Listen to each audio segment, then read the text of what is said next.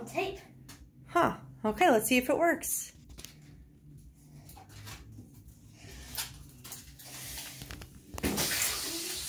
Told you it flies.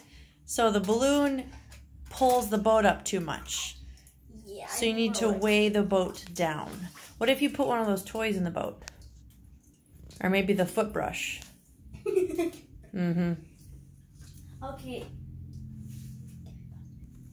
You can pause it now. Okay, so now we're trying it with a weight in there to see if that helps give it more weight. Ready? Yep. Okay, then. Well, the good news is it didn't flip over. I think you need to put more air in the balloon. All right, let's try it a third time. Okay, we've got more air in the balloon now. Third test. well, it didn't flip. But it did rotate. It went in a circle. Okay, so it works, but it does not work. So what did it do?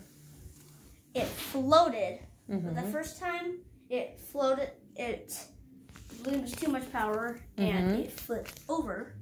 The second time, the balloon wasn't enough power and stayed and put And it just did what?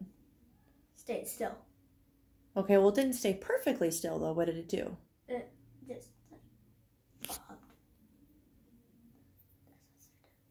And the third time, it rotated. Because you had more air.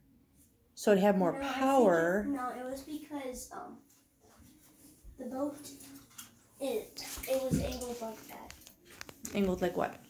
It was on the angle. Oh, okay. So, what are some things you can do to adjust your design to have a better result next time?